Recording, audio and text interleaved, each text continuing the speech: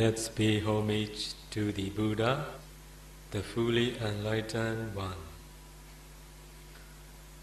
Namo tassa bhagavato arahato samma sambuddhassa Namo tassa bhagavato arahato Samma Sambuddhassa Namo Tassa Bhagavato Arahato Samma Sambuddhassa I will pay respect to the Buddha ဘုဒ္ဓဘောဓာယတိတေတိတံတောယောဓမ္မထာယသာဓမ္မထာယတံတောဓမ္မံတိနောဝါတရဏာယသာနိဗ္ဗုတောနိဗ္ဗာနထာယတံလောကတရဏံနမိ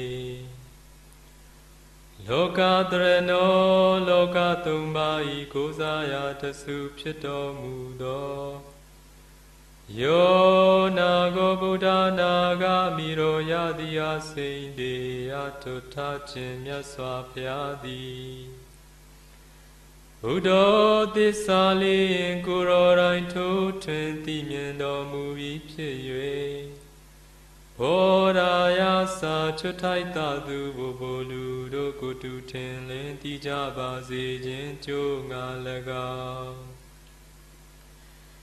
တန်တော်ကိုရောကပင်ရင်ချေတော်မူပြီးဖြစ်၍ဓမ္မထာယစာချွတ်ထိုက်တာသူဘိုဘိုလူတို့ကိုတူမဲ့ရင်ရင်ချေကြစေခြင်းငါ၎င်း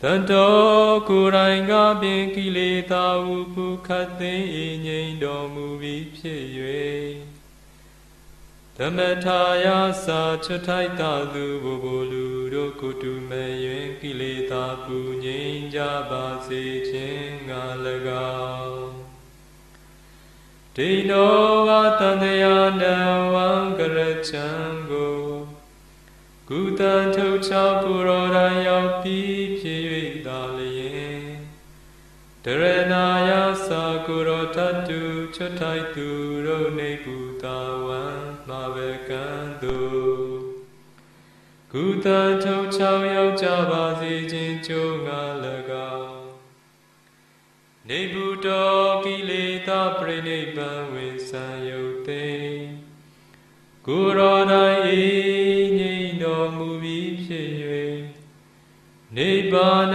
ထာယသာကိုရောထတုဝေနေလူတို့ပုခတ်သိငြိမ်ကြပါစေ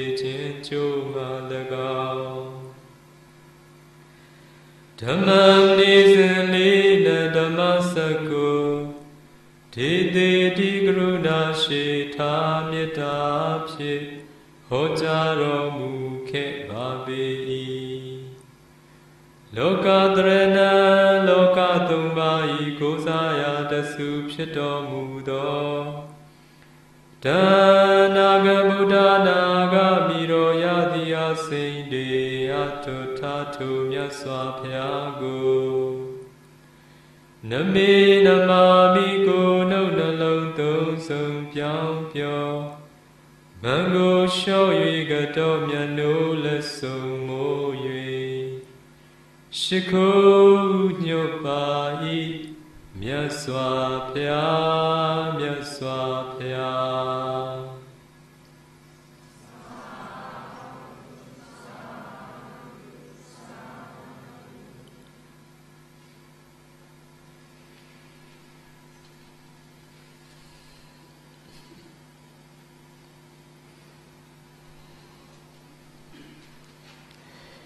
Today,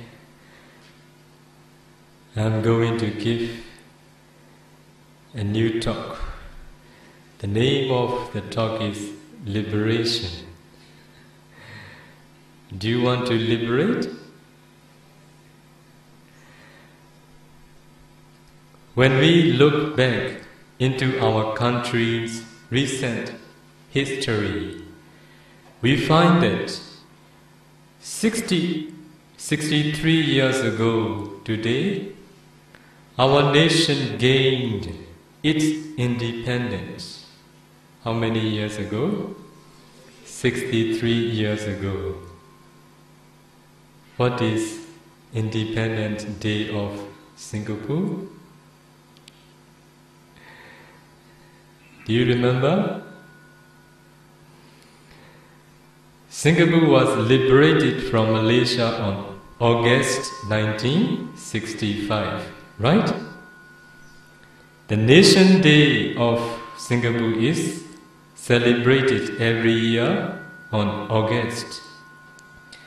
In commemoration of Singapore's independence from Malaysia in 1965. In other words, we were liberated. Now, what were we liberated from? And what type of independence was it that we gained? Can you answer me? What type of independence was it that we gained? I'm sure that it was not the type of liberation which we are trying to seek in the Dharma sense. True? I'm sure it is not the type of liberation which we are trying to seek in the Dharma sense. If I were to ask if you have been really liberated, what would you answer?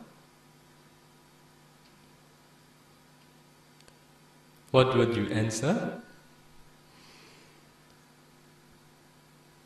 All right, then, as a nation, we have gained independence.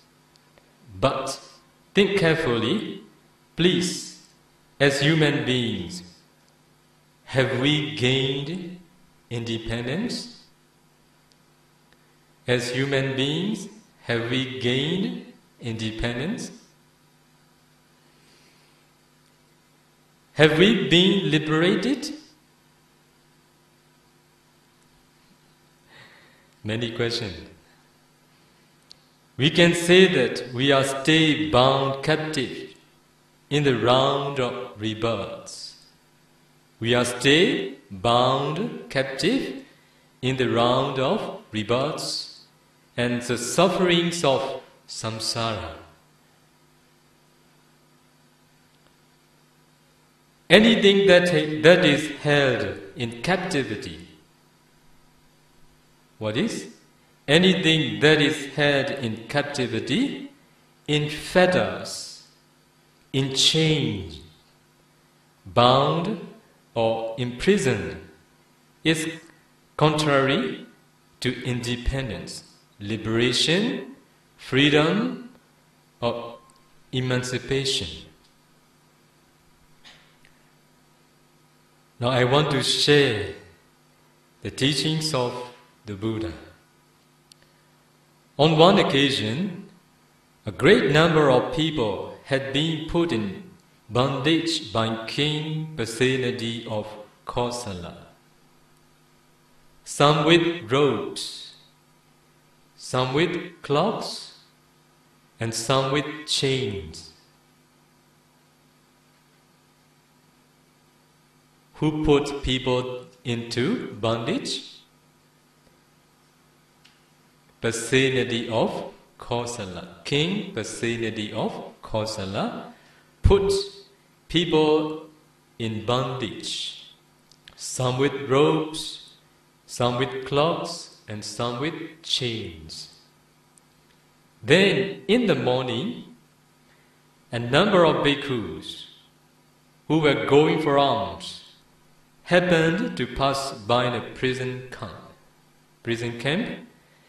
That they were shocked to see prisoners bound, fettered, shackled, and restrained in assorted ways and postures. The bhikkhus thought to themselves, How wearied and miserable they must be! What a confined existence these people are going through. Do you think so? With such thoughts going through their minds, they arrived in the presence of the Buddha, where they respectfully informed him, saying, Buddha, we have witnessed, we have found various forms of confinement imposed on prisoners. Such kinds of imprisonment seem extremely difficult to escape from. Do you think so? Such kinds of imprisonment seem extremely difficult to escape from. So said the bhikkhus to the Buddha. This is their opinion. They think this is the confinement extremely difficult to escape from.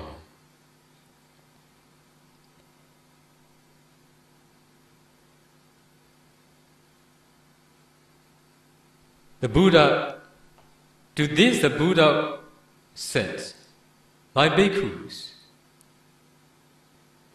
the noble and the wise do not consider it so difficult to be free of the kinds of imprisonment that you have seen. So, there, at that time, the Buddha recited the following verses. The wise say, That bond is not very strong, which is made of iron, wood, or rope. But infatuation with jewelry and earrings, anxious concern of wives and children. The wise say, This is a bond that is strong, degrading, supple. Do you understand supple? Flexible, pliant.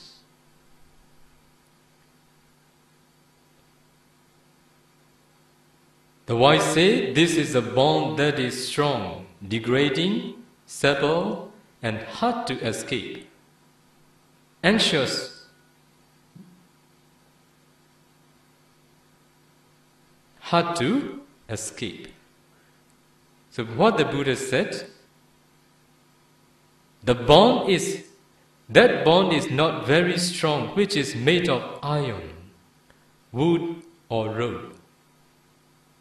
The wise didn't say that such type of confinement is difficult to escape. What the wise say, this is a bond that is strong, degrading, flexible, pliant, but hard to escape. Which one? anxious concern of wives and children. I will explain in more simple English. Because the noble and the wise don't consider it so difficult to be free of the kinds of imprisonment that you have seen. They all see people had been put in bondage some with ropes, some with clocks, and some with chains. There exists a particular type of confinement which is indeed extremely difficult to be free of. Do you know what confinement it is? Extremely difficult to free of. What the Buddha was referring to was the closed relationship wherein a man and woman shackle themselves to each other. It is called marriage or matrimony. Another term which I find very descriptive and appropriate is wedlock. Do you understand? Wedlock. Do you see what I mean? You get wet and you get locked. Is it true? You get wet and you get locked, both at the same time. That means that you have been shackled and you have lost your freedom.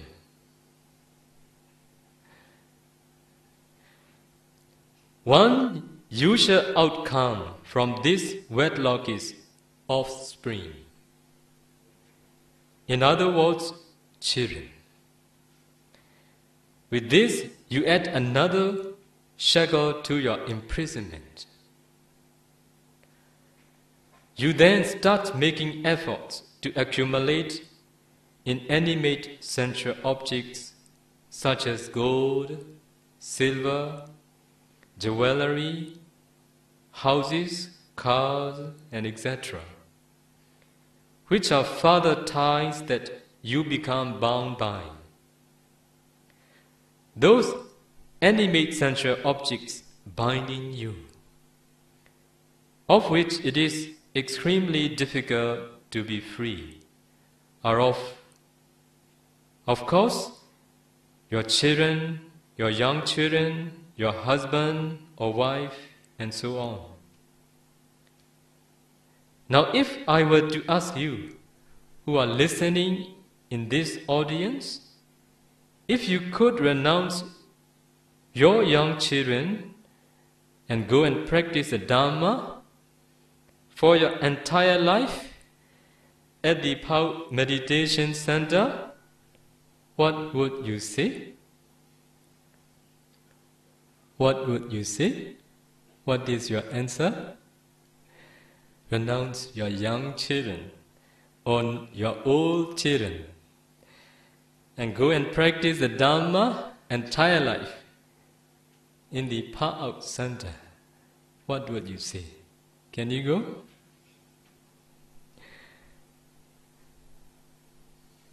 No Bhante, we can't. This is your answer, I think. All right, then. That is the imprisonment, which is extremely difficult to be free of. So said the noble and the wise ones. In which case, haven't you locked yourself up in this prison? Do you get what I mean? In which case, haven't you locked yourself up in this prison? Yes, you surely have.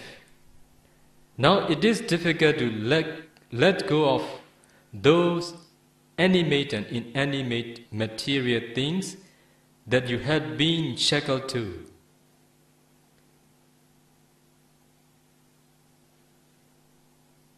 I want to ask our Myanmar people, do you get the meaning shackle? Hmm? Can you explain? Shackle. Shackle is binding. So, like a fetter. Fetter, do you know? If we bind one another, or if he, some, if he holds, if he binds somebody with ropes, so it is shackle. Okay?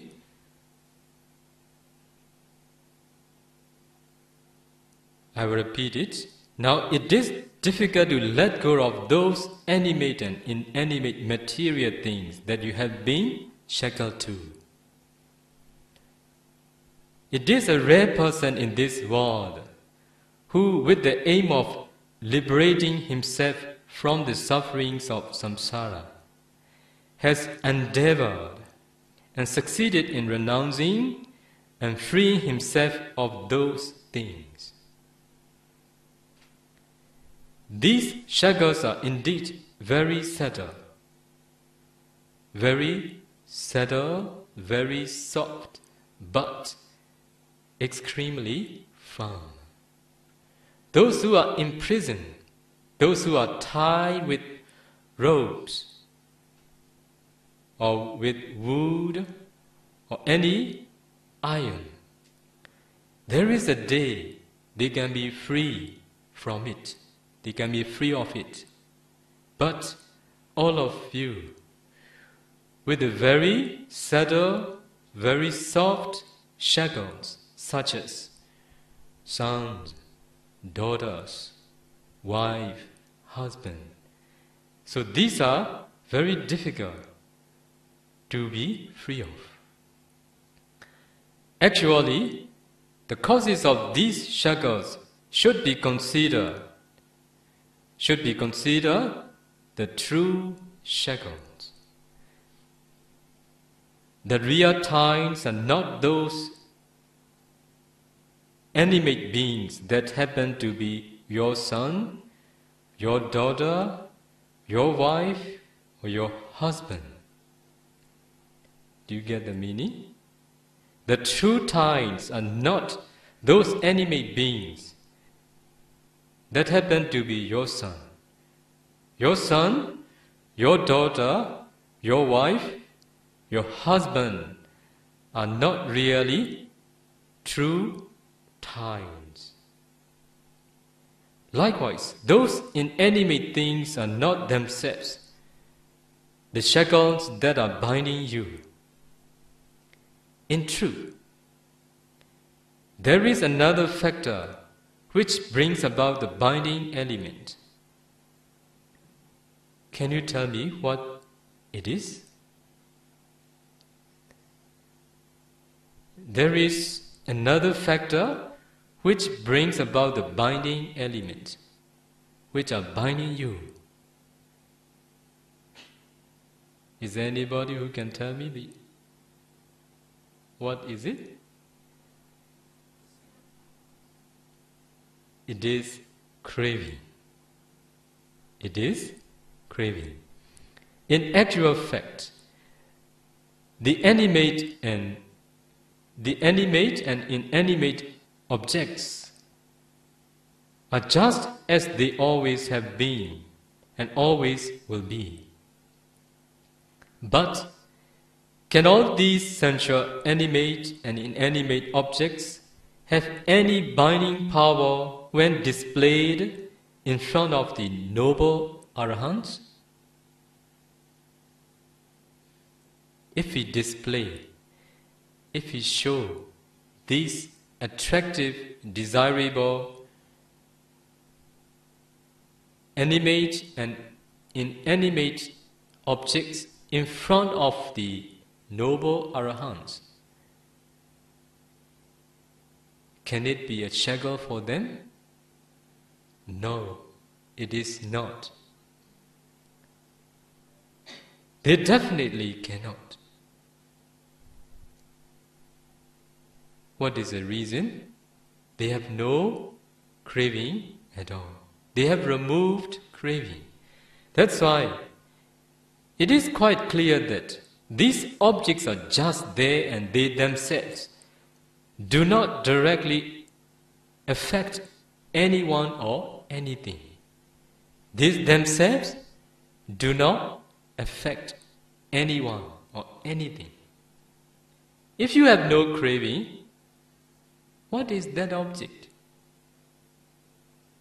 It is not the object of clinging for you. It cannot attract you. Just because of craving, it can attract you. It becomes a shackle, it become a ties, it become a bond. It is merely the reality of craving that has put you into this prison of existence. Therefore, unless you manage to release yourself from this shackle of craving, you can in no way be a truly liberated person.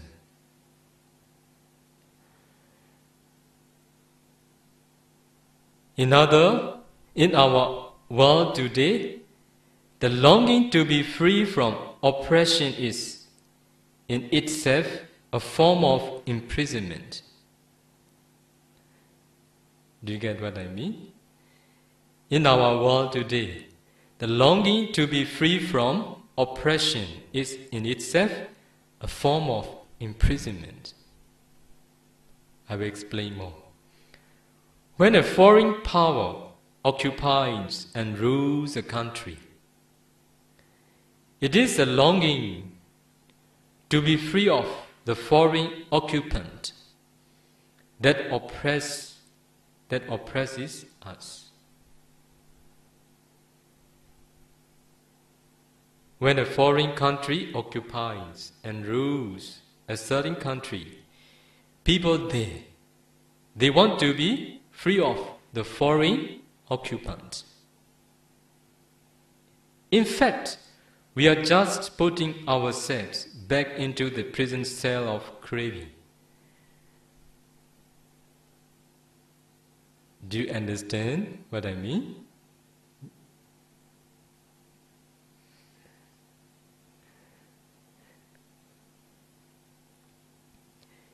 Because you want to free off their oppression.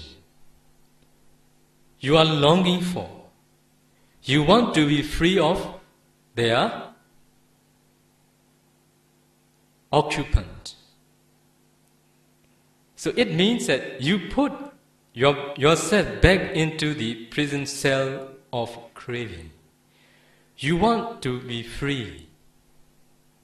Is it the desire?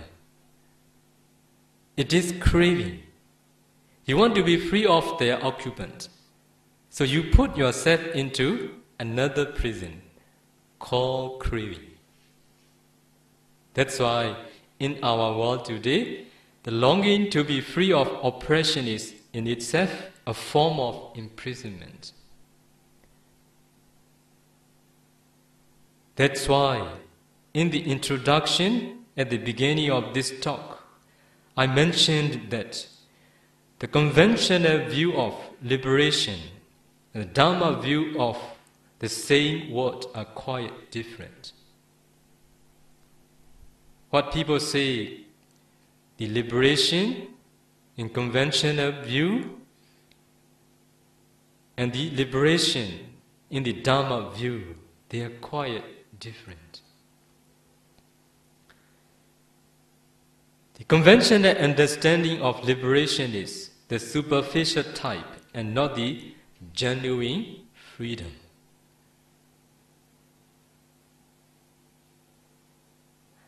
Are you, liber- are you liberated? Yes, conventionally, you are liberated. But ultimately, you are not.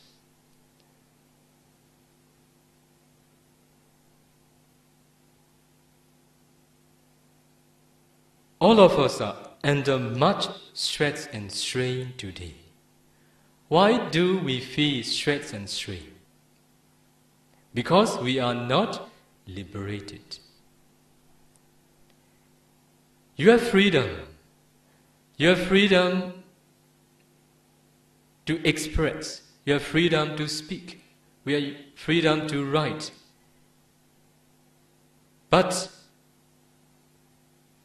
if you do according to your desire, are you liberated? No. That's why we can get freedom. What people say nowadays, we can free of the occupant from others' country power.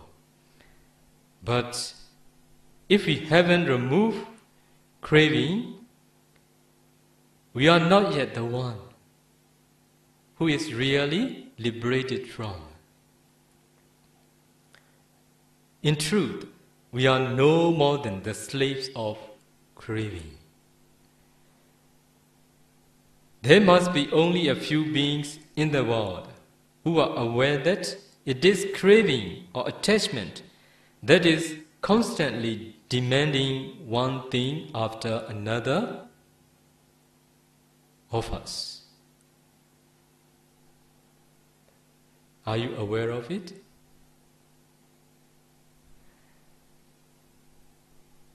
Whenever the desire for something appears, do people say, craving wants this object, or do they say, I want this object?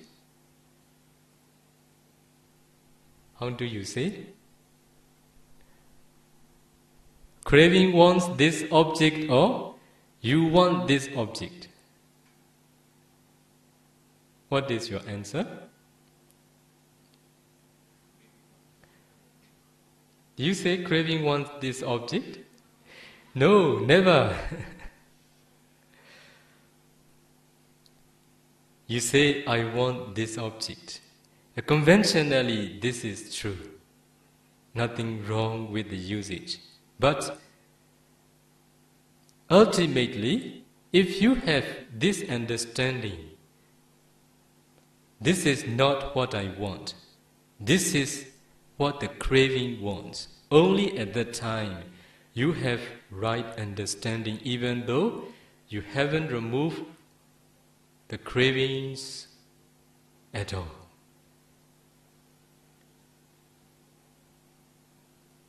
It is always, I want it.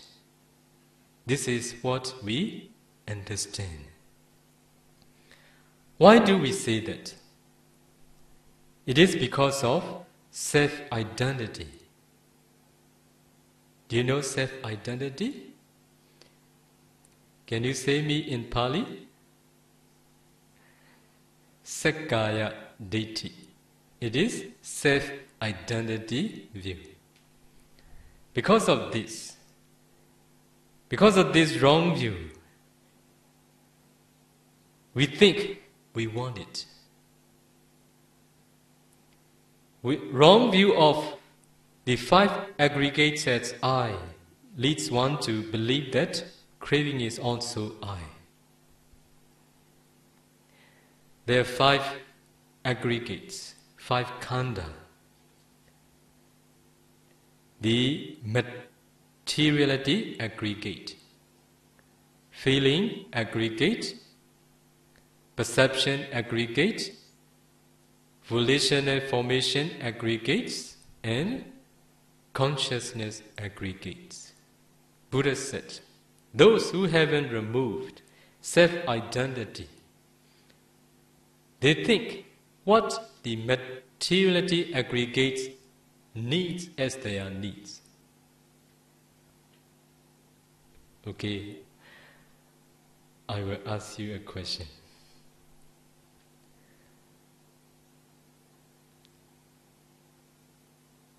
Have you finished your dinner? Finished? Mm. Who need food?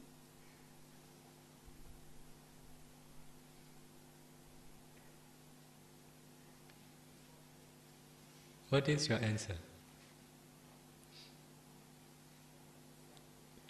Not you, you, you need. Truly? Yeah. Very good. okay. So if you have no Dhamma knowledge, you will surely give an answer me. You want it. You need the food. Because of the knowledge, because of learning knowledge, hearing knowledge, you give an answer. This is the need of the body. This is right understanding. Those who have removed self identity, they understand completely. This is not their need. This is the need of the body. Not because of their learning knowledge, just because of their direct knowledge that they can see.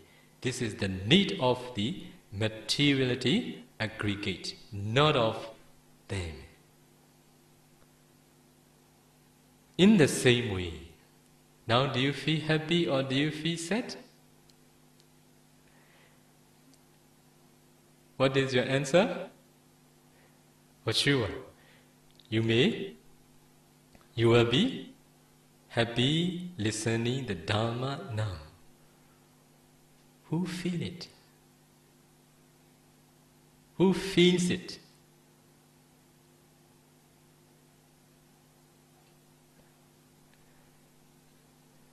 You feel?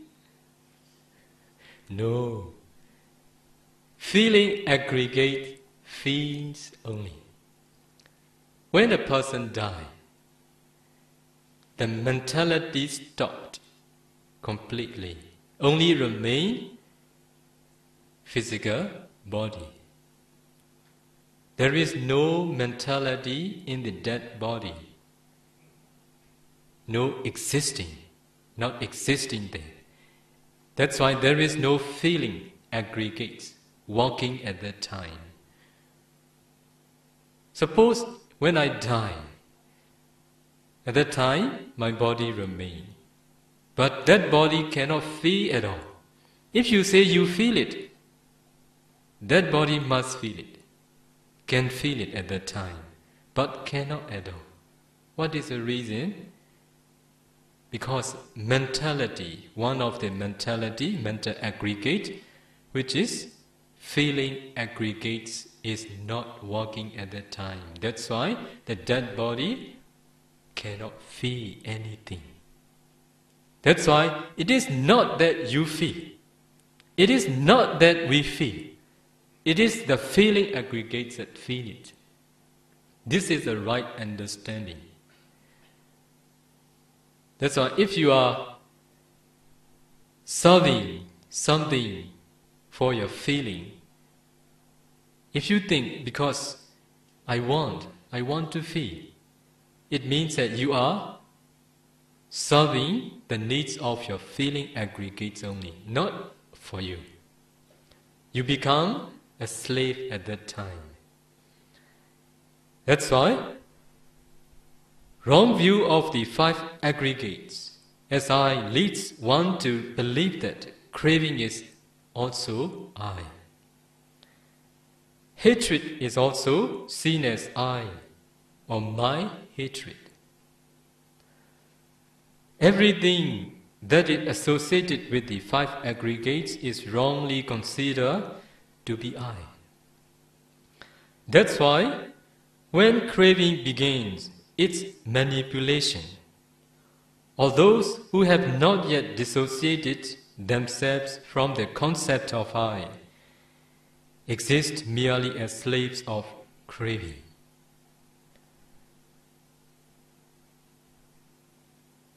If you haven't removed the self identity view,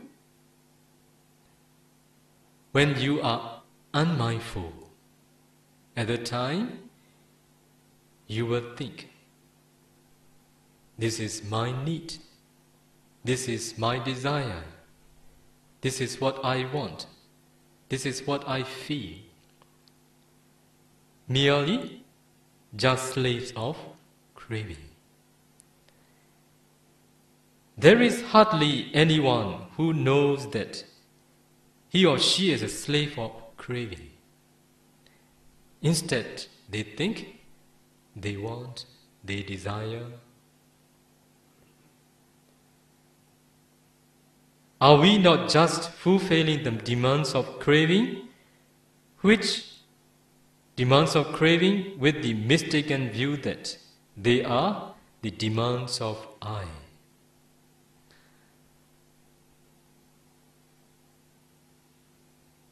What is your understanding? Are you not fulfilling the demands of craving with the mistaken view that they are the demands of you?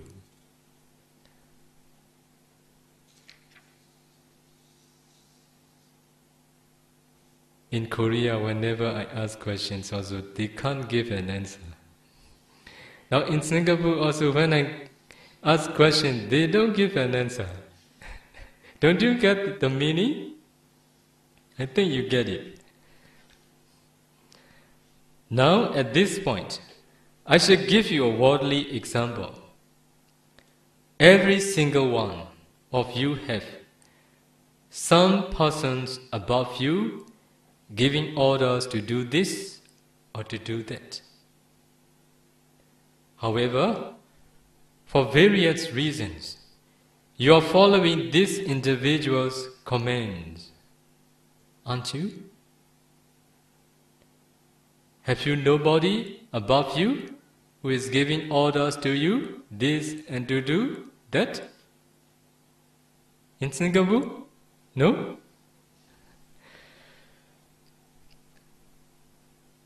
For various reasons, you are following their commands.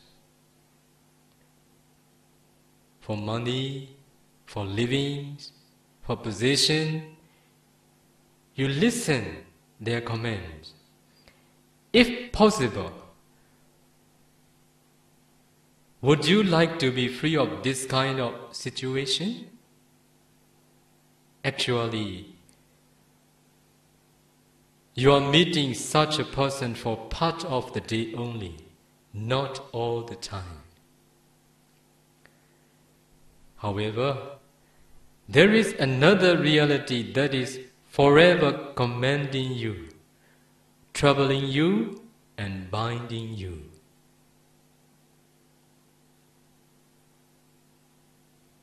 Do you know what it is? I will repeat it. There is another thing that is forever commanding you, troubling you, and binding you. It is craving. It is endlessly ordering you to do this thing, pushing you to get that thing and so on. Is it reality? Not much more terrifying than the reality of those above you in status?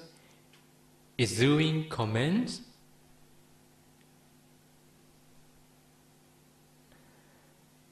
I think I better not to give the matter depending on paper, I think. Hmm? difficult, I think. Hmm? It is endlessly ordering you to do this thing, pushing you to get that thing, and so on. Is it really? It is much more terrifying than the reality of those above you who are commanding you. Of course, it is much more frightening.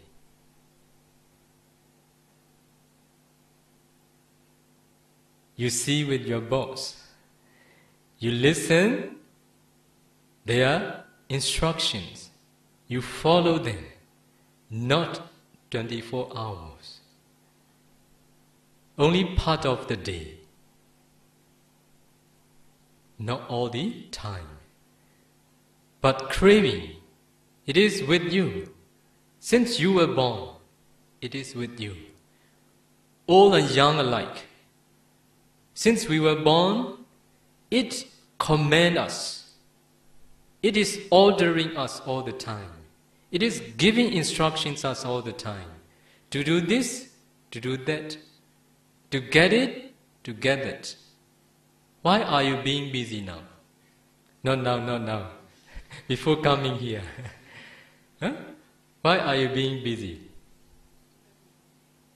Because of this, because of this craving. Furthermore, there are times when hatred or anger troubles you and dejects you. At that time also, you suffer. Also, delusion overwhelms you and fools your mind into thinking that what is right is wrong and vice versa. The reality is that they are jealousy, conceit, and stinginess to overwhelm and torment you much, much more than any other person ever could do.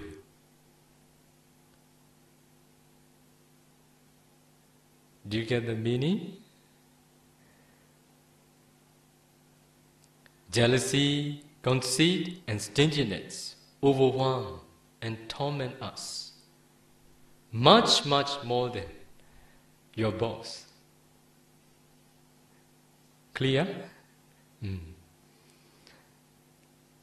The very first stage of being liberated from these afflictions is the time when the self identity of I, my, me, and my are eradicated. The noble person who has attained Sotapanna has done so by ridding himself of self illusion, skepticism, skepticism, and attachment to mere rite and ritual. For the stream entry, from the stream enterer, with the attainment of first path and fruition knowledge. His path knowledge removed three things. One is self illusion, another is doubt, another attachment to mere rite and ritual. He or she has realized that truly there is no I. Compared to the ordinary person's mindset, his mindset is many, many times more liberated. If the ordinary reacts according to the arising of his or her anger, why the stream enterer decides that anger is not going to get the better of him and acts accordingly then isn't the freedom of the stream enterer far greater than that of the Puthujjana?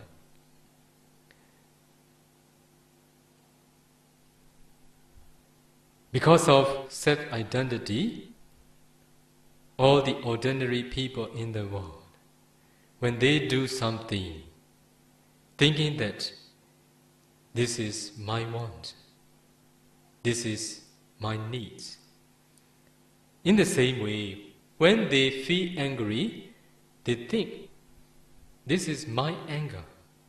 This is my hatred. Whenever they are feeling jealousy, at that time also they think, This is my jealousy. This is my stinginess. In the same way, when they are feeling proud of themselves, at that time also they think, This is my pride. Because they haven't removed self identity, Sakkaya Ditthi, wrong view. Because of this reason, whatever whatever mindset occurred in their mind, they wrongly hold them as theirs.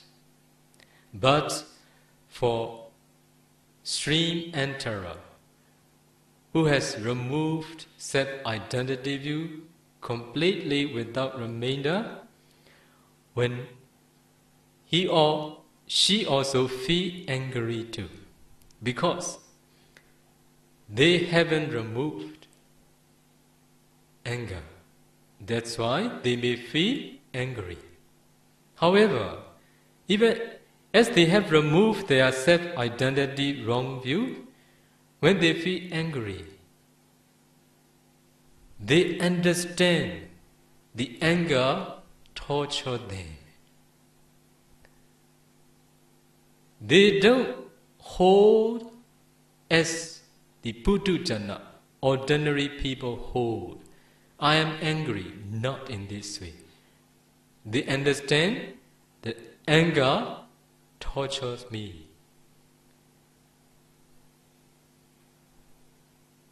How different these two mindsets be? The one who holds anger and defilements as his or her, his or hers, the one who understands anger and all the defilements as defilements only, That's why the mindset of ordinary persons and the mindset of stream enterer will be different. In an appearance, you may not see the difference. Why? Ordinary persons, as they haven't removed, as they, as they have anger, they feel angry too.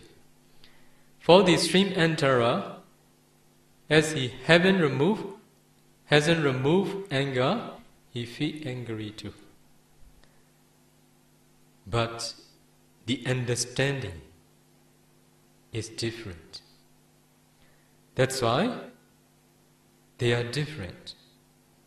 Another thing, if one does not have unshakable faith in the eight Dharmas, the Buddha, the Dharma, the Sangha, the three trainings, the training of morality, the training of concentration, and the training of insight,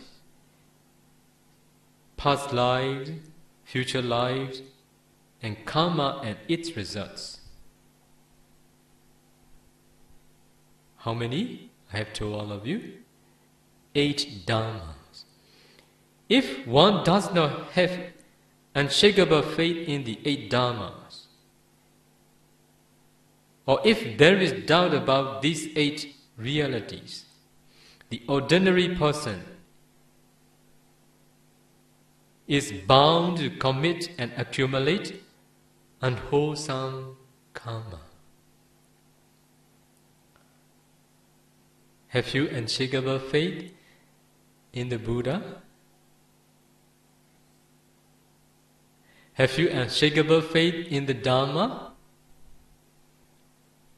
Have you unshakable faith in the noble Sangha?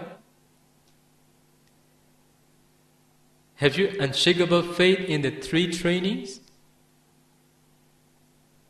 Have you unshakable faith in the law of karma? Have you unshakable faith in past lives? Sometimes you may feel doubt. Is it really that I have past life? Is it really after this life, I have future lives. You may have this doubt. What is the reason? Because you haven't developed unshakable faith. Because you haven't attained first path and fruition knowledge that Unshakable faith is not with you.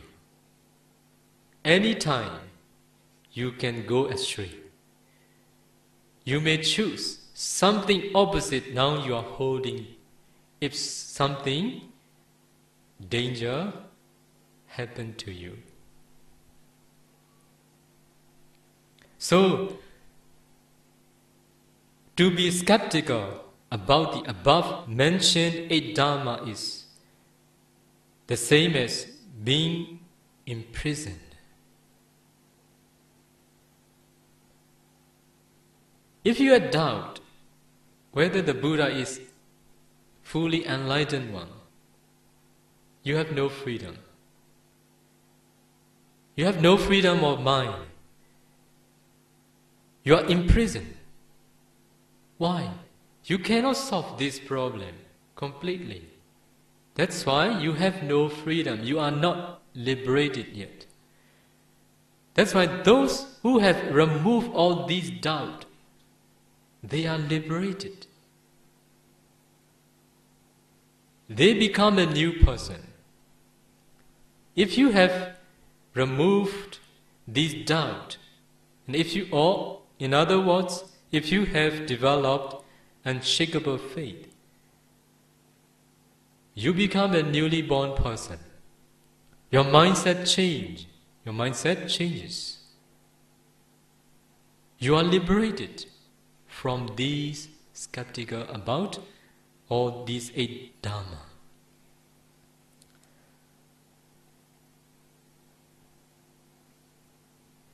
That is to say, the person with doubt is not yet liberated. That's why the virtuous stream enterer who has removed all doubt and has the utmost unshakable faith is a truly liberated individual.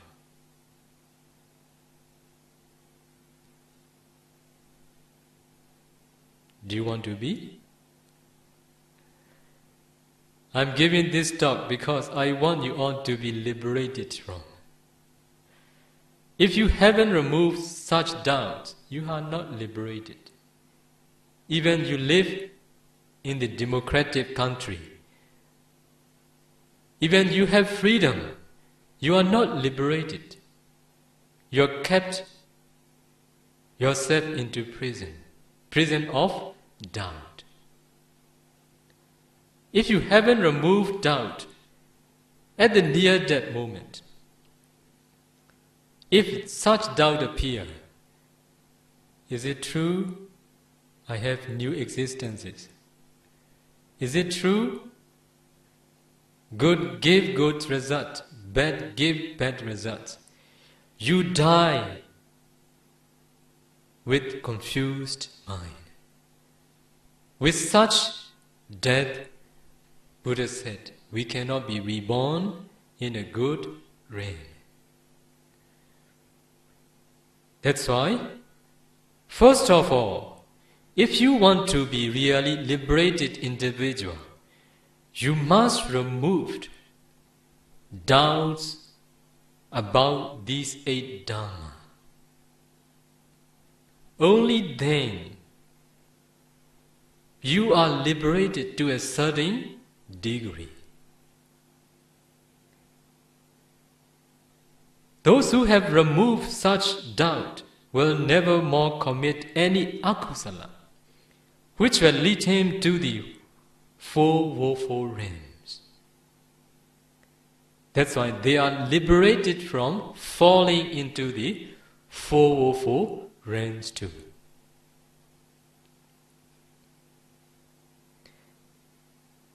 Please be aware of what the Buddha said. All the ordinary people are foolish. Do you agree with me? Are you angry with me? No. Putto jano omatago. All the ordinary people are foolish. Why? They are foolish because of ignorance and craving.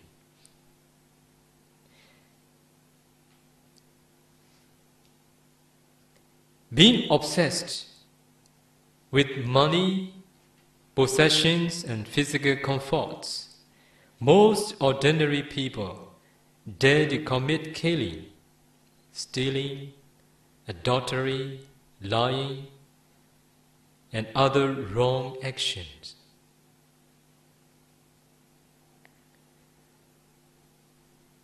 In Korea,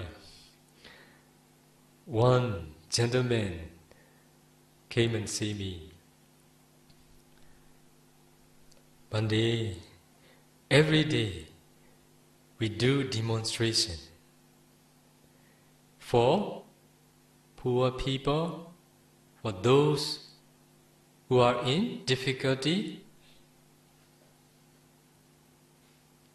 So I, I told him, okay, if we compare, you have freedom. If we compare with people of your country and people of our country, your people have more freedom. So you have freedom to demonstrate. When you do, with the intention to help for those who are in dukkha, for those who are suffering. With the good intention, please don't be angry. I told him, Bhante, impossible. We are very angry at that time. So we should do for the good of others with the right attitude. They have freedom to demonstrate. They have freedom to, pro- to do protest. At that time, if they do with the good mindset, it will be good for them. Another thing, one thing one day he, uh, he told me, it is difficult for me. We develop unity. That's why whatever we do, we do together. Because we need unity to do demonstration. That's why we drink sometime together. For unity, he told me. So, for money, people do and wholesome deeds. Sometimes, for possession, they accumulate and wholesome deeds. Now, as he told me, for unity, he take he took intoxicants. That's why, because of money, because of living, because of possessions, because of position, people commit killing, stealing, adultery, lying, and other wrong actions. People are foolish because of their ego. They say unity, actually just ego. That's why people are foolish because of their ego and because of their self identity. Ego makes people think that they are better and more important than others. Don't you think you are better and more important than others? Sometime, sometime for sure. People have been blinding themselves so much in their long and wearisome ego trip along the round rebutts that there is no akusala they dare not do in life. Because of ego, endless ego trip, because of serving for your ego, there is nothing what you dare not do in your life if necessary. This is the danger of the all the ordinary people. So according to the Buddha, the five unwholesome, weighty actions, heavy karma, in other words, the commit patricide, matricide, the murder of an arahant, to draw the blood of the Buddha and to create a schism in the Sangha are not beyond the bounds of possibility of ordinary people. Do you remember Ajatasattu? Do you know who is Ajatasattu?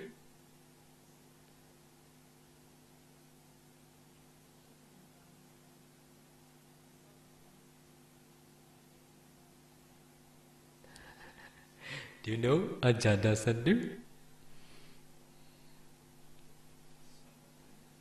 Son of Bimbisara, who killed his father. For what? To be a king. He was still very young. It is his ego trip because of endless ego trip that we make in the rounds of some in the rounds of samsara, we have done many and wholesome deeds.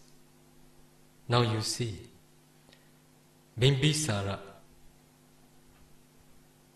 who was a Sotapanna, stream enterer, who have developed unshakable faith on the Buddha, the Dharma, the Sangha, three trainings, past lives, present lives, karma and its result. Not the ordinary person, but noble person has been killed with the arrangement of the Prince Ajatasattu, who is a beloved son of the King Bimbisara, Bimbi Chara.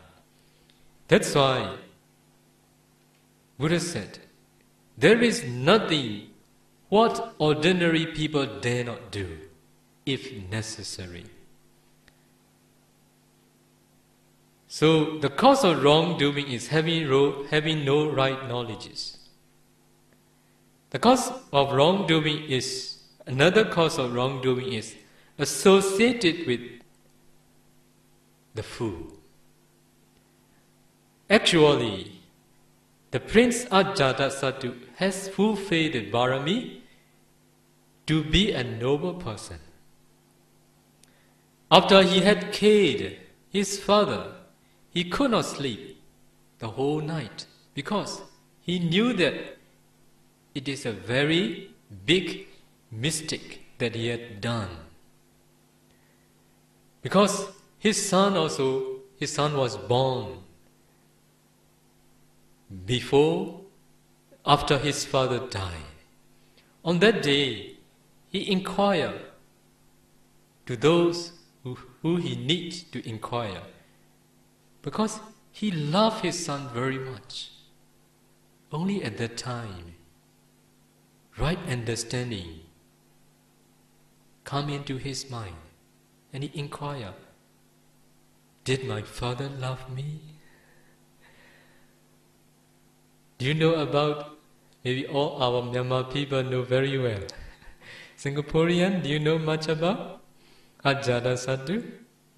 So when he was born, when he was very young, so there is a very painful wound happened in his tip of the finger. So it is very pain, it was very painful that he cried. He cried continuously. So with compassion towards his son, King Bimbisara, to make it, eh, to make it, to make, to make him feel release. And then he put his son finger into the mouth. And then it broken inside the mouth. So the blood and pus was in his mouth. But being afraid his son will be awake. That's why he didn't do anything. He just swallowed the pus and the blood together. So when the prince Ajatasattu was told about it, at that time he felt very sorry. He felt guilty for what he has done. He, feel, he felt regret for what he had done. Because of associating with Devadatta. That's why in our life, if we associate with unwise person, stupid person, foolish person long time, we may imitate him or her. We may be influenced by their idea, their suggestion. At that time, we may do wrong. So when he encountered much difficulty because of his regret and his remorse, one day the doctor Jivaka suggested him to see the Buddha. On that day, he went to see the Buddha and he asked the benefit of ordained life. Saminya Phala Sutta. The benefit of ordained life. So Buddha explained the benefit of ordained life, very detailed, very long sutta.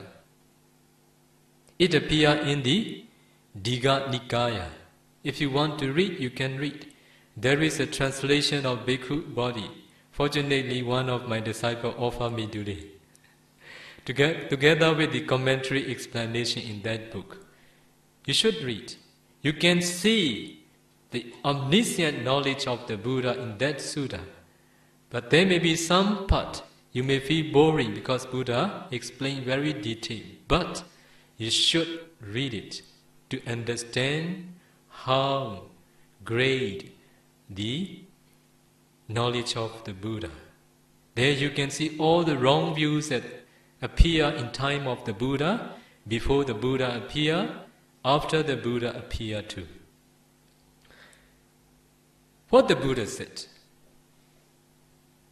if Ajatasattu, who killed the parent, who had committed patricide, if he hadn't done it, at the end of this discourse, he will attain stream enterer. But he lost that great opportunity because of doing patricide, because of committing patricide, because of associating with the fool. Are you the fool or the wise? This is a question you should ask yourself. What is your answer?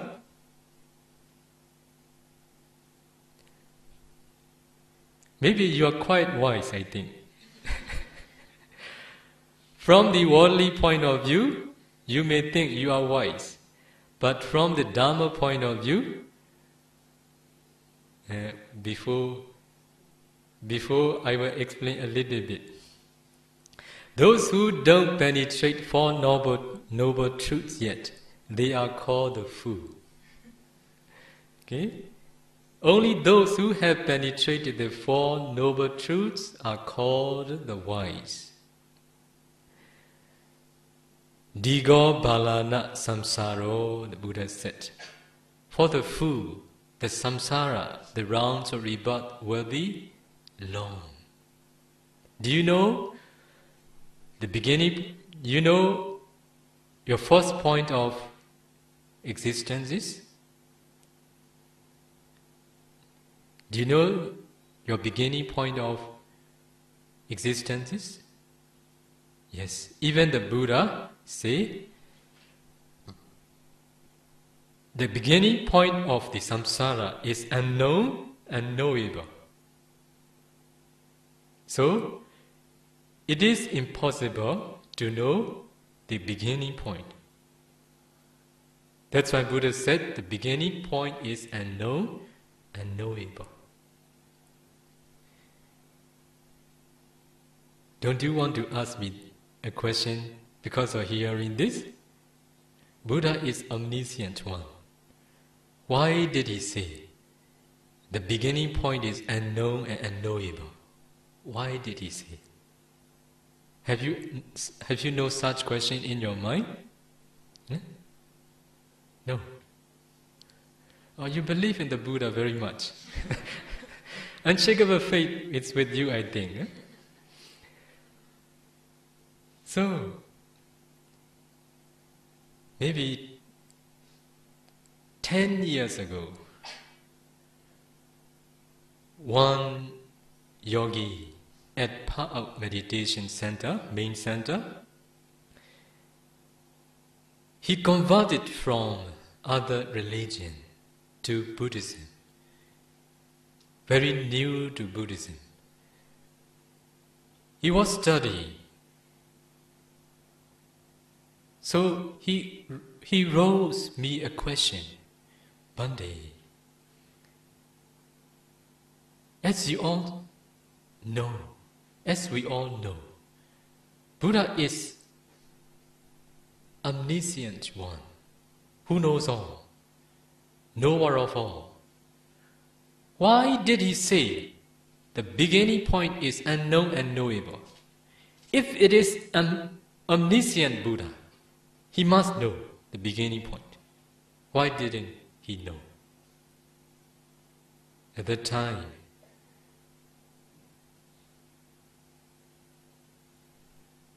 I could not give the answer. Why? I was very newly ordained person. so later, after seven years or six years later, I think, I got the opportunity to read the commentary explanations. There it was explained. When we draw a circle, very neat circle, can you see a beginning point? No, no. Buddha is omniscient one. He knows everything. There is nothing that he doesn't know. He knows that there is no beginning point. That's why the beginning point is unknown and knowable. That's why Buddha said the beginning point is unknown and knowable. Not because he doesn't know, just because he know he knows that there is no beginning point. How can we say when craving starts? True? How can we say where the ignorance starts? The causes of the existence is ignorance and craving. This craving is like a saga, endlessly overwhelming us. Because of this reason, we are wandering in the rounds of samsara endlessly, one after another. So, if we haven't developed unshakable faith when we are wandering in the rounds of samsara, as the Buddha was, we are those who dare to do such things. Heavy, karma, patricide, matricide, the mother of an arahant, to draw the blood of the Buddha and to create a schism in the Sangha. So all the ordinary, ordinary people are not beyond the bounds of possibility of these unwholesome actions. That's why You should consider about it. Don't be happy. You have danger. All the ordinary people have a lot of danger. In any condition, if you can't bring under control your defilements, you may commit any unwholesome deeds. That's why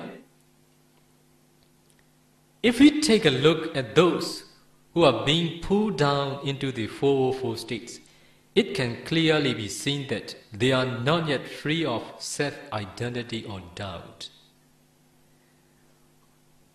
The stream enterer, Sotapanna, has anger. He or she has greed. He or she has pride he or she has delusion. Now you completely remove all the avijja, delusion, partially removed, which cover the four noble truths has been removed with the first part then, fruition knowledge. They have anger. They feel angry sometimes. They have pride. They feel proud of themselves sometimes. But their pride, their, the strength of their pride, the strength of the, their anger cannot make them fall into the fourfold states. What is the reason? The reason is because of having no self identity. How dangerous the self identity view is. Do you understand? I will explain a little bit more. You think I need I need this beautiful cloak because of your self-identity.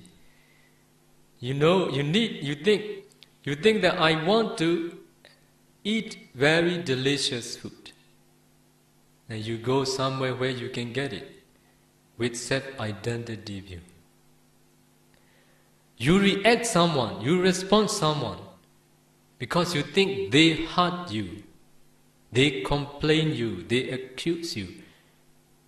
With the wrong view, self-identity view, you respond. You react, sometimes very seriously. When someone look down you because you think high of yourself, everybody they think high of themselves. This is normal. So because of their pride, if someone look down at that time, they feel, they feel uneasy, they feel proud of themselves. Sometimes because of pride, they react something very seriously because of the influence of self-identity view, they do or they did or they are going to do in the future. I will give more clear example. You have self-identity view. When your son are suffering what do you feel?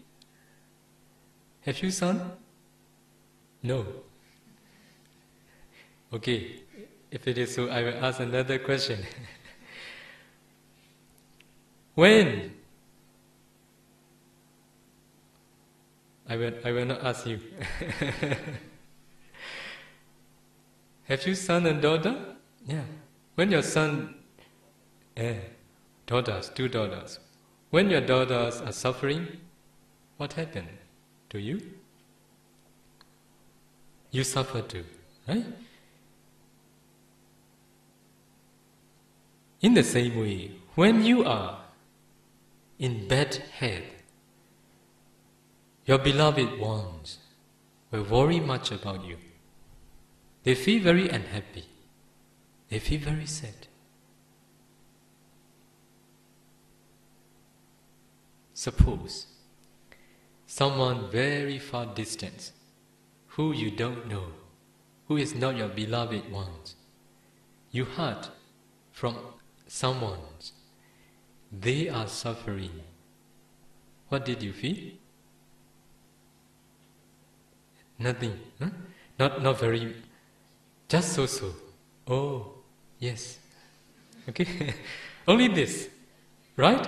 Because you didn't hold them with your self-identity view.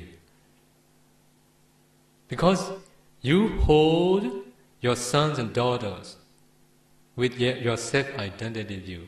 You think this is my son, this is my daughter. If I say according to Buddha's teaching, it is not your son. It is your, not your daughter. What will you say me? How crazy this venerable is. Okay, you may say, for example, why this is what you have given birth then. Yet conventionally it is your son. The knowledge, conventional knowledge is not enough for our freedom, for our liberation. So this is because of self-identity you suffer. You heard about someone who is suffering in America, you don't know. You don't feel like what you fed the time your daughter sick. The reason is because you don't hold them with your self-identity view. Those who have removed self-identity view are those who don't feel if someone offer very much because they understand that this is not mine. Okay? So how they were feel released much because of having no self-identity view. How happy it will be for them that they have removed self-identity. How good if you can remove self-identity in your life. Even so, your sons and daughters are being sick, you will treat them because you love them but you understand that, oh, this is according to their karma. It will not make you much suffer. Which is better? Because of seeing beloved one suffering, we don't suffer, we don't suffer much and we suffer much. Which one do you want to be? But conventionally, your loved one want to see your worry very much. Okay? If you don't worry, you understand.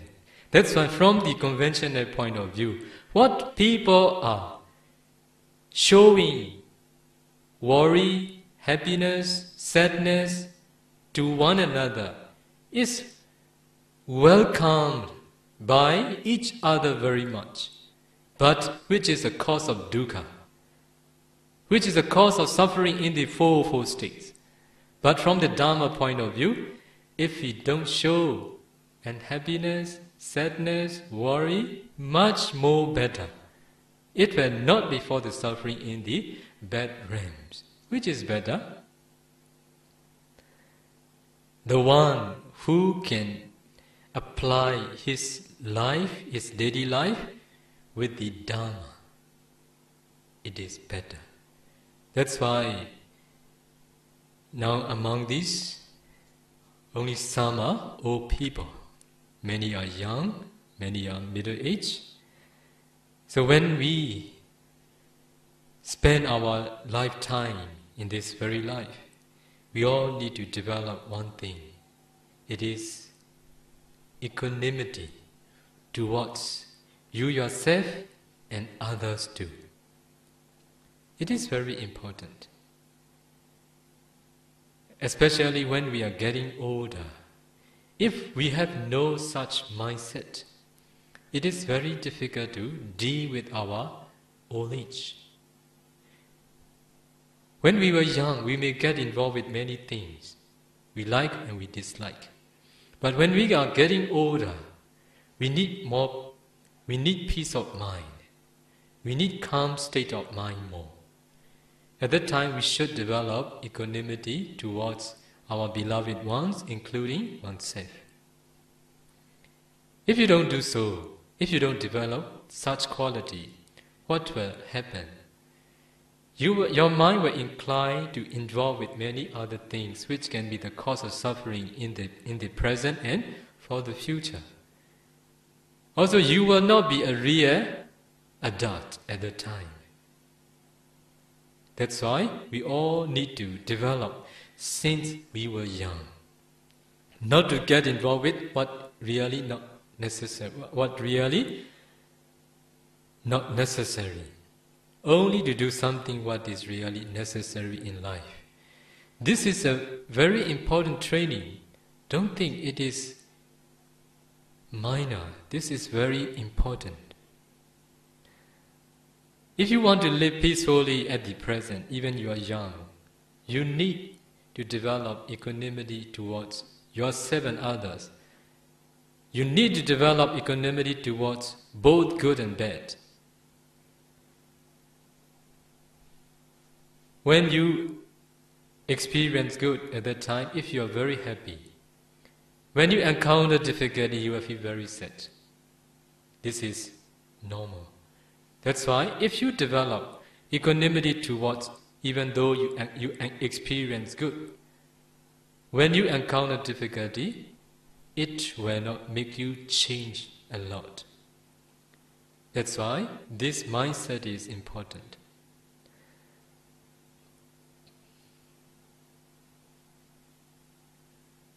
There is no one who wants to go to the 404 states. Is it true?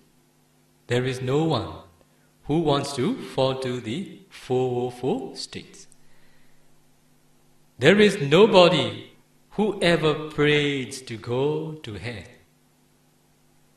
Right? There is nobody.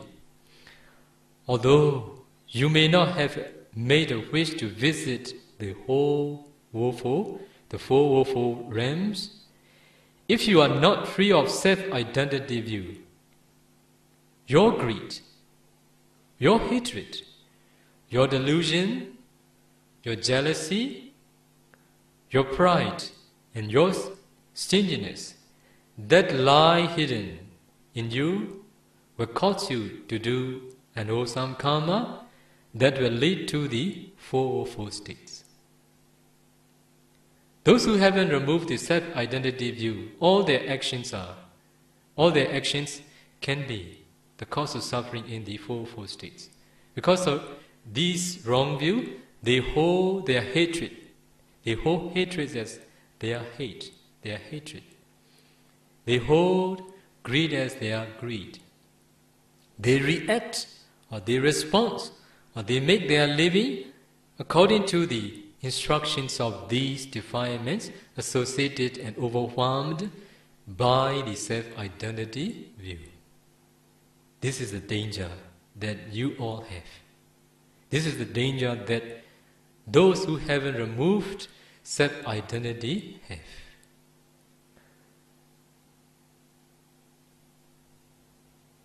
In other words, because of self identity view, you will have unknowingly or knowingly accumulated and wholesome karma that will lead you to the four woeful states. In that case, you are stay in a shackled existence like any other ordinary person who is merely existing between birth and death and is not liberated yet. Are you the one who are still in a shackled existence like any other ordinary person? What is your answer? Yes. So, it will be necessary for you to follow that practice, which can eradicate self identity and doubt. If after performing the noble acts of giving, you make the wish to realize Nibbana, do you make it? After performing the noble acts of giving, you make the wish to realize Nibbana.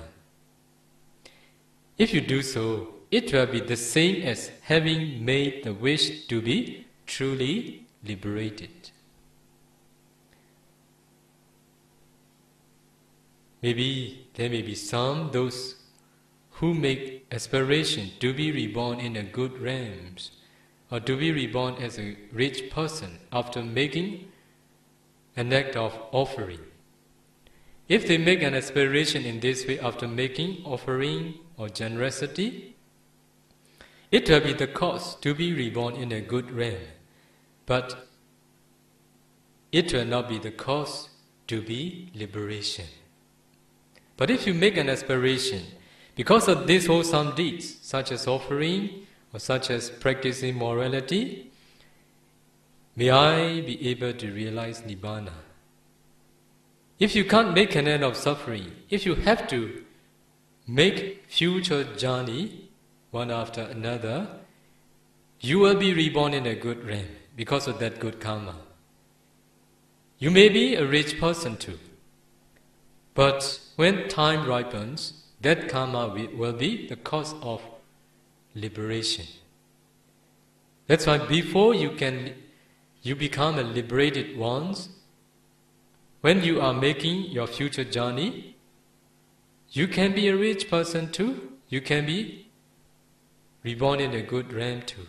But it can be the cause of liberation. That's why, because of making an, aspiration to be able to realize Nibbana, if you can get both results, it is better. That's why Starting from today on, those who make an aspiration to be reborn in a good realm or to be a rich person, stop. Just make an aspiration to be the one who can be liberated from rounds of rebirth.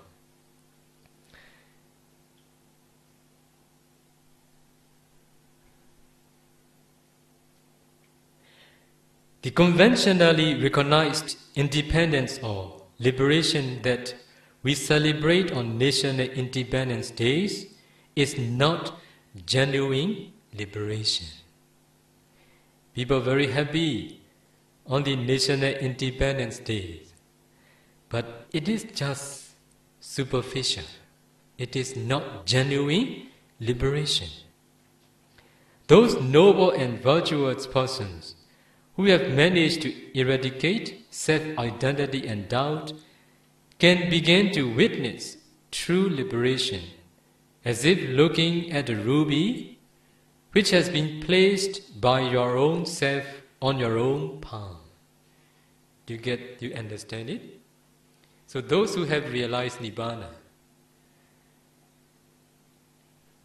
are like a person who put a ruby on his palm. Don't you see clearly with your eyes? The ruby on your arms. You see it in the same way. Someone who has eradicated self identity means someone who can realize Nibbana whenever they want. Path knowledge arises only one time. Fruition knowledge follows. So path knowledge cannot be experienced. What I mean, the first path knowledge cannot be experienced second time. But any time the stream enterer wants to experience fruition knowledge, he can enter fruition again, realizing Nibbana as if he see ruby on his arms, on his palm arms. Why did I tell all of you this?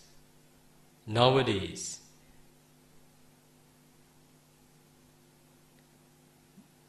many meditators who reported that they have attained, they have realized Nibbana I have met with them. Without asking anything, they just told me, I'm from this meditation center. My teacher told me, I have attained Sotapanna. And then I ask, Do you see Nibbana? Do you realize Nibbana? Can you enter fruition knowledge anytime you want? And then they answer me.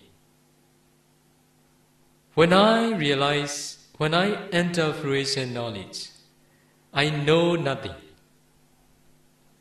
Only after coming out from it, I know that I have entered fruition knowledge. Do you understand? The Buddha said, those who attain those who attain first path and fruition knowledge, they can experience fruition knowledge anytime they want. As if they see ruby on their palm clearly. That's why it is not true that someone who experiences fruition know nothing. It is very important for all of you. If you want to know the words of the Buddha, you can read in the Anguttara Nikaya in the chapter of the tongue, chapter of 10, experiencing Nibbana. Maybe the name will, will not be exact, but it is like experiencing Nibbana. It is not true that those who realize Nibbana know nothing. It is not true. So if you have realized Nibbana, if you don't know nothing, it is not the Nibbana taught by the Buddha. For sure. It is very important. And I ask again. Buddha said anytime they want to enter fruition, they can enter. I ask them again. I don't look down, I just clarify them. Can you enter fruition knowledge anytime you want? No, very difficult. Okay. Do you know ultimate mentality and materiality? No, I don't. Do you know the cause of ultimate mentality and materiality, which is the second noble truth? No, I don't. Buddha said, without having breakthrough the Four Noble Truths, if someone says, I will make an end of suffering, it is impossible. What is the Four Noble Truths? You all know. What is the first Noble Truth? Ultimate mentality, ultimate materiality are called the first Noble Truth. In other words, five aggregates are called the first Noble Truth, the Noble Truth of suffering. What is the second Noble Truth? The cause of suffering. For these existences, if we talk about these existences,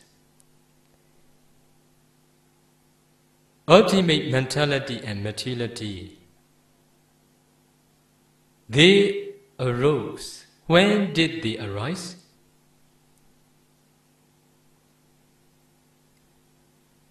In our mother womb. This is the beginning stage of the arising of suffering ultimate mentality and materiality. Do you get what I mean? This is the beginning point of the arising of the first noble truth. If it is so, in other words, we can say it is the result of karma. It is the result of past karma. If it is so, the cause of suffering, where will it be? The suffering started in our mother womb. If it is so, where would be the cause of suffering? The second noble truth.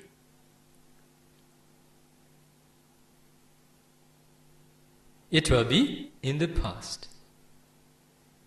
It appeared, it occurred at the near death moment in our previous life.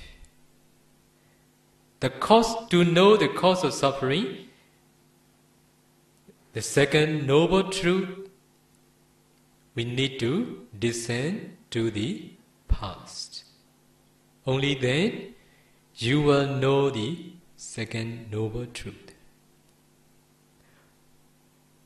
What is the object of insight meditation?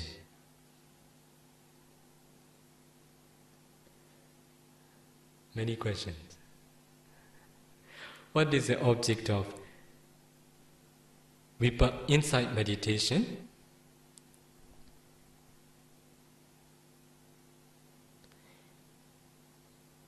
I believe you all want to realize the Dharma. I believe you all want to be liberated. I believe you all want liberation. But if you want to be liberated one. You need to practice insight meditation, what we call vipassana. So, what is the object of vipassana? First noble truth and second noble truth are, are the object of insight meditation. If it is so, if you don't know the first noble truth, if you don't know the second noble truth, we have no objects to contemplate impermanent suffering and non-self. Ultimate mentality and materiality, they are arising and perishing very, very rapidly.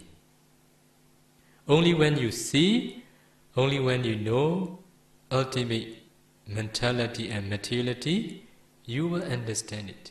In this audience, there is some, those who have penetrated. For them, it is very clearly they understand. Buddha said this whole world is made up of small particles.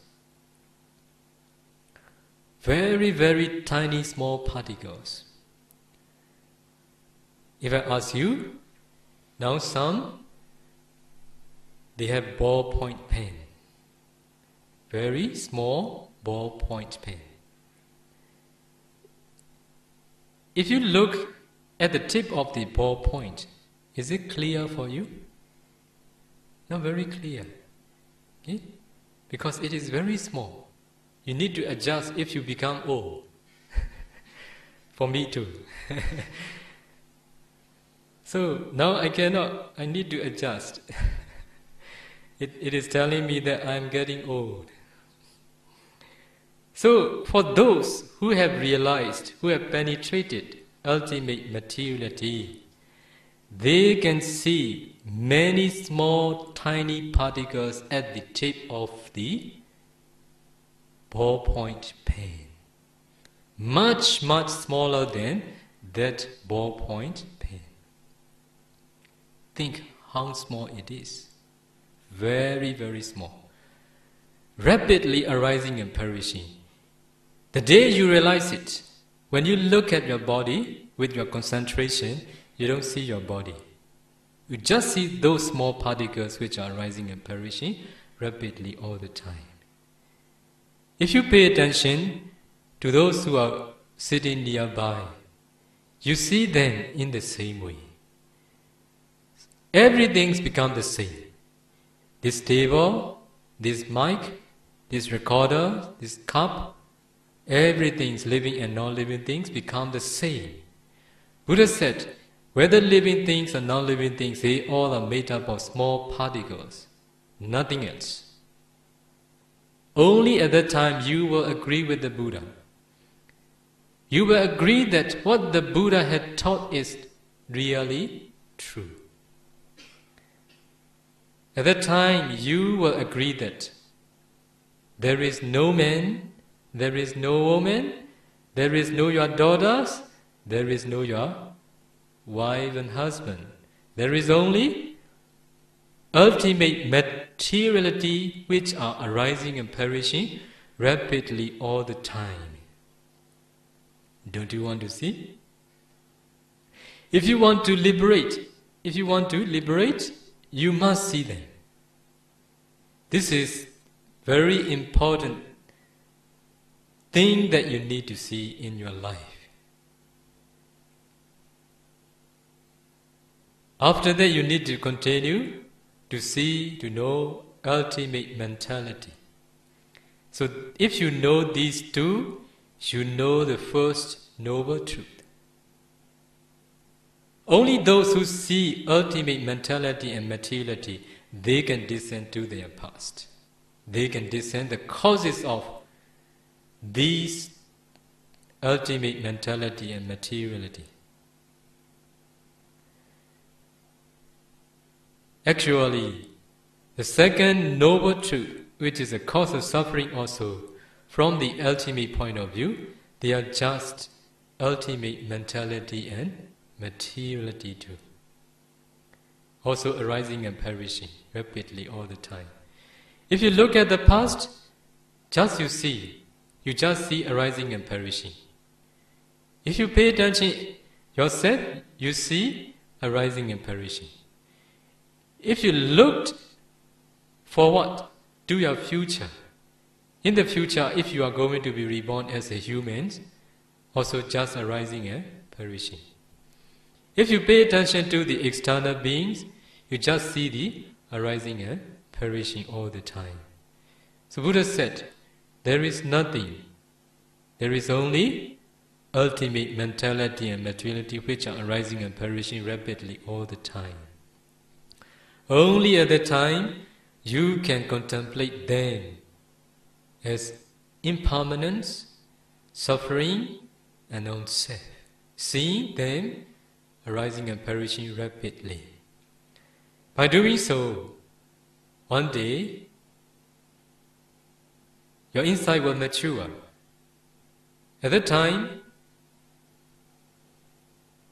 or before it, you need to change your attention towards the perishing only, not on the arising.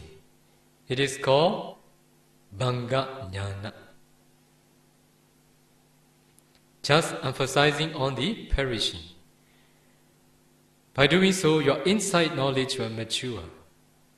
At that time, you may feel fear of these Dharma because they are arising and perishing all the time. You fear very much, you frighten.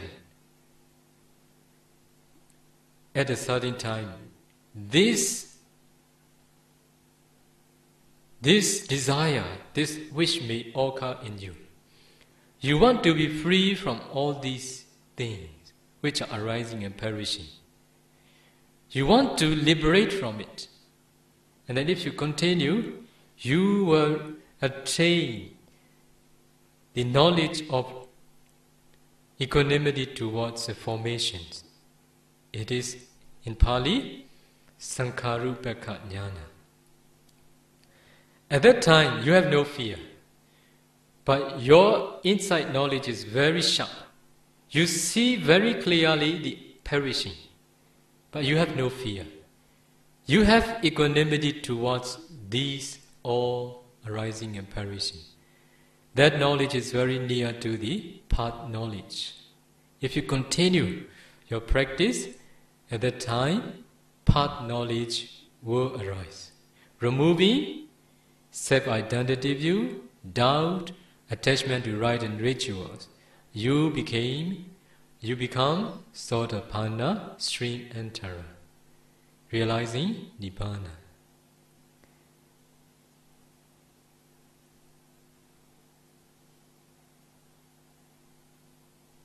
That's why I told all of you, those noble and virtuous persons who have managed to eradicate self identity and doubt can begin to witness true liberation as if looking at the ruby which has been placed by your own self on your own palm. To describe further, those who have attained to Sotapanna stream enterer have been liberated and have at, at most, sorry, at most only seven more existences to endure. Not more than seven existences. They will progress gradually, step by step, until they finally attain Arahant path and fruition knowledge, and hence total liberation. To attain this, one must take the opportunity to learn the practice of morality, the practice of concentration, and the practice of wisdom. From those learned teachers who are at present available to us. If we don't take the opportunity to approach these teachers when it is available, we can never be sure of being liberated from this seemingly endless round of rebirths. In fact, we are in danger of drifting further and further away as we migrate from one rebirth to another. Therefore, what we need to do is to diligently attain the true liberation from the Dharma point of view rather than from the accepted worldly viewpoint, and to be included in that minority of individuals who have attained true liberation. Do you want to be included in the majority or do you want to be included in the minority of individuals who have attained true liberation. Now, where are you in? You're in the majority, you're not in the minority. Very dangerous. You know? In order to attain true liberation, we should emulate those noble, virtuous, and enlightened Buddhas and other individuals of ancient times, who strove hard and who attained genuine liberation through going forth and practicing the development of morality, concentration, and wisdom. All those present at this Dharma talk have so far been performing. The noble acts of giving dana. And noble acts of doing morality, sila, right? Now, I wish that all of you will be able to diligently, steadfastly strive to practice those noble practices, morality, concentration, and wisdom mentioned earlier in order to grasp, grasp and attain that genuine liberation, that is the deathless state of Nibbana. May you all be able to liberate. May you all be able to make an end of suffering in this very life through engaging diligently the training of morality, the training of concentration, the training of insight in this very life.